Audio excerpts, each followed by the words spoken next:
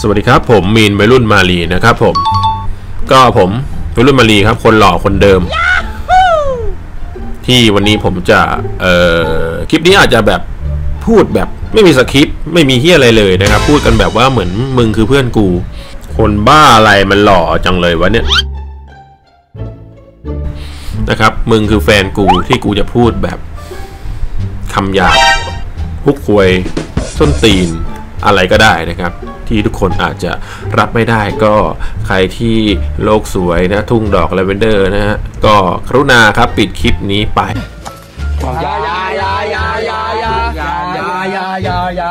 แต่กูหวังว่าพวกมึงจะดูกูจนจบ สิ่งที่ผมจะพูดนะครับในคลิปวิดีโอนี้ก็จะพูดถึงภาพรวมทั้งหมด และตัวเองนั้นในปี 2022 ผมเป็นกัปตันทีมชาติเว้ย เออ มึงฟังไม่ผิดหรอก กูเป็นกัปตันทีมชาติด้วย นะครับ ก็ไปรับชมรับฟังกันได้เลย อันนี้แค่เกรินก่อนนะ ยังไม่อยากพูดเต็มๆ เดี๋ยวเดี๋ยวเดี๋ยวครับ มันยังไม่จบ รูปผู้ชายคนนี้นะหล่อเท่ๆคนนี้ ผมฟูๆคนนี้นะครับ ไม่ใช่คนเมากาวหรือว่าเล่ร่อนขนาดไหน นี่คือตัวผมเอง แค่นี้แหละฮะ ไปฟังเลย เต็มๆ ว่ามีอะไรบ้างที่ผ่านมาในปีนี้ แค่นี้แหละ One hour later. ก็หลังจากที่ผมเกรินมาครับ1นาที40วิ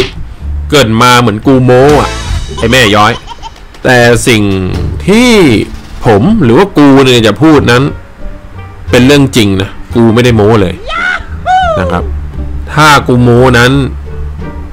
เชิญเอาเอาม้ามาดูคุยหน่อยไอ้สัตว์โอ้ตามนั้นเลยครับ ตามที่อาจารย์แดงแกบอกเอาไว้ทิ้งโตกระเด้าเย็ดควาย ก็หลังจากที่ผมหยุดช่วงโควิดครับผมก็ได้ทำการสตรีมเมอร์นะครับ เป็นเพจ ชื่อว่าเพจมินวิรุณมาลีซึ่งผู้ติดตามประมาณ 20,000 นิดนิดๆ ซึ่งเป็นอะไรที่รู้สึกสุดยอดมากครับ บางวันคนดูผมหลักสิบบางวันคนดูผมหลักร้อย บางวันคนดูผมหลักพัน ซึ่งส่วนตัวผมเองนั้นผมคิดว่าผมแม่งมาโคตรไกลแล้วสำหรับเป็นสตรีมเมอร์มือใหม่ เอาตายว่ะเอาเฮ้ยเดี๋ยวมาโอ้โหย่าผมหมอย ซึ่งเว้ยมันทำให้กูเนี่ย มีรายได้ค่อนข้างจะ ใช้ได้ Here comes the money. Here we go ในการที่เราจะมานั่งสตรีมให้ทุกคนได้ดู ก็หลักบางเดือนก็หลักพัน ไปปลายๆบ้าง หลักพันต้นๆบ้าง บางเดือนก็อาจจะหลักหมื่นหมื่นกว่าๆนิดหน่อย บางเดือนอาจจะเกินมันรายได้ไม่คงที่แต่คือ ก็มันอยู่ที่เราขยันขนาดไหนในการสตรีมเกม แล้วก็การที่จะทำให้คนดูนั้นได้ enjoy สนุกกับสตรีมเมอร์หน้าตาหล่อแบบกู เอากูซะแล้วนะจ๊ะ แบบเต็มคราบเต็มระบบนะแพ้เป็นพระชนะเป็นป้าอยู่แล้วล่ะนะเพจนี้มันสุดยอดอยู่แล้วเอาใหม่แต่ผมก็ขอขอบคุณนะครับ ทุกคนที่ยังกด supporter สนับสนุน ถึงจะเป็นเดือนเพียงแค่ 35 บาท แต่คือผมไม่ได้สตรีมเกมเลยไงจริงๆและและในยุคนี้ด้วยที่เออแม่ง ทุกอย่างแม่งแพงหมด ไม่ว่าจะเป็นหมูแพงไก่แพงผักแพงไอ้ที่อะไรวะไก่แพงปลาแพงอะไรทุกอย่างแม่งแพงหมด แต่ทุกคนก็ยังกด supporter ผมผมขอบพระคุณมากจริง ๆ ไว้มีโอกาสที่ผมกลับมาสตรีมเกมใหม่ ผมจะจัดให้เต็มข้อเต็มระบบเหมือนเดิม นะครับ และขอบคุณทุกคนที่ติดตามแฟนเพจผมด้วยครับมีนวัยรุ่นมาลีก็อยากให้ทุกคนติดตามไปนานๆนะจ๊ะ One hour later. โอเคฮะ ต่อไปต่อต่อจากนี้กูพูดติดขัดที่อะไรวะเนี่ย ต่อไปต่อจากนี้ครับผมจะมาเข้าเรื่องเข้าลาวกันเลยดีกว่าว่าผมทำไมถึงห่างหายไปนานแสนนาน นะฮะว่าผมทำหาอะไรอยู่ตอนนี้ทำไมไม่สตรีมเกมเลย อันนี้บางคนอาจจะคิดว่า ไอ้เฮียกูไม่ได้อยากรู้มึงพี่ชีวิตมึงเป็นเฮียอะไร แต่กูอยากจะเล่าให้ทุกคนได้ฟังอย่างน้อยก็มีน้องชายคนนี้แหละว่าที่ทักมา หากูว่า พี่ผมอยากเห็นพี่ทำคลิปวีล็อกบล็อกคุยอะไรวะน่ะอีกครั้งหนึ่งนะอีกครั้งผมก็เลยจัดให้ถึงคนดูคลิปนี้มันจะน้อย แต่ผมก็ทำให้น้องคนนี้ได้ดูคนเดียว ผมก็รู้สึกโอเคแล้ว นะครับ จริงปะวะก็ไม่รู้นะครับไปเข้าเรื่องกันเลยดีกว่าขี้เกียจพูดยาวแล้วครับเจ็บคอ และแล้วกีฬาซีเกม ที่จะจัดที่เวียดนาม หรือเวียดนาม นั่นเองกูพูดถูกแล้ว กับศึกยิ่งใหญ่ครั้งนี้ที่เราจะต้องไปคว้าแชมป์ให้จงได้ โดยมีกัปตันทีม มีน วัยรุ่น มาลีโอ้ my god หรือกฤษดานิสวัย นั่นเอง ไม่รู้ว่าซีเกมนี้จะเป็นเช่นไร ความชิบหายจะเกิดขึ้นหรือเปล่า แต่เขาคนนี้ต้องทำมันให้ดีที่สุด และเต็มที่ กีฬาที่เขาจะไปแข่งครั้งนี้ ไม่ใช่กีฬาชักว่าวชายเดี่ยวชาย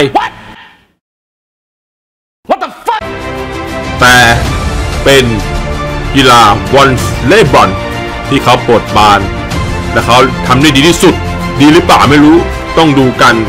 เพื่อที่จะไปชิงเหรียญทอง ปีนี้เขาจะพาลูกทีมรอด หรือคว่ำหรือจะชิบหายวายวอดกันไป แต่ตัวผมแล้วผมจะทำให้เต็มที่ เอาละครับ หยุดชาวตื่นเต้นเพียงแค่นี้แหละ กูว่าเอาจริงๆจังๆแล้วนะฮะไปรับชมสิ่งที่กูจะพูดนะครับหรือผมจะพูด โอเค let's go One hour later. ก็ถ้าทุกคนยังไม่รู้นะครับตัวผมเองนะครับกฤษดานิสวัยนะครับ ก็เล่นวอลเลย์บอลซีเกมครั้งนี้ถ้านับจากซีเกมเนี่ย ก็ครั้งที่ 6 แล้ว โอ้ my god นะครับ ถ้าคิดเป็นเวลาก็มา 12 ปีนะครับ แต่ว่ามันติดโควิดปีหนึงอาตีไป13 ปี ผมเล่นวอลเลย์บอลทีมชาติมา ซึ่งผมมีความฝันไว้ตอนเล่นวอลเลย์บอลสมัยที่อายุสัก19 20 เนี่ย ตอนที่ชิงแชมป์เอเชียปีไหนก็ไม่รู้ตั้งแต่ปีโมแล้วมั้งผมได้เจอกับทีมชาติญี่ปุ่นนะครับผมก็อยากมีความที่อยากชนะทีมชาติญี่ปุ่นมาก พวกอีลงอีลาดอะไรเงี้ยก็เคยเจอนะก็อยากชนะ แต่ว่าผมไม่ชนะเลย และความฝันอีกหนึ่งอย่าง ก่อนที่ผมจะเลิกเล่นวอลเลย์บอลเนี่ย ผมมีความฝันว่าผมอยากได้เหรียญทอง เอเชียนเกมสักครั้งในรุ่นผม ซึ่งรุ่นพี่ๆสมัยก่อนเนี่ยเขาเคยได้ทำดีที่สุดก็ที่ 4 เอเชียนเกมมั้งปีไหนก็ไม่รู้นะผมก็จำไม่ได้เหมือนกันนะได้ที่ 4 ถือว่าเป็นประวัติศาสตร์ชาติไทยเลยฮะที่วอลเลย์บอลชายได้ที่ 4 เอเชียนเกม ซึ่งตัวผมเนี่ยอยากได้เหรียญทองมากเลยเอเชียนเกมแต่คือ พอเราได้มาสัมผัส พอเราได้มาเล่นจริง ๆ แล้วเนี่ยมันเป็นอะไรค่อนข้างที่จะยากพอสมควรแต่คนดูอย่าเพิ่งด่วนสรุปนะครับ ไม่ใช่แบบว่าผมอ้าวไอ้ฮาก็มึงไม่สู้เลยนี่หว่าไอ้ฮาก็รู้ว่ายากอย่างเดียวมึงไม่ตั้งใจเลยไอ้เวนไม่ใช่นะครับ คือผมก็อยากให้ทุกคนมาดูการฝึกซ้อม ได้มานั่งดูกันจริงๆซึ่งตัวผมเองนะผมว่าเป็นคนหนึ่งที่ค่อนข้างที่จะตั้งใจ แล้วก็เป็นคนที่ไม่ค่อยบ่น อะไรเลย ไม่ค่อยบ่นกับการฝึกซ้อมเท่าไหร่ เอาจริง ๆ ตั้งใจและอยากทำให้มันได้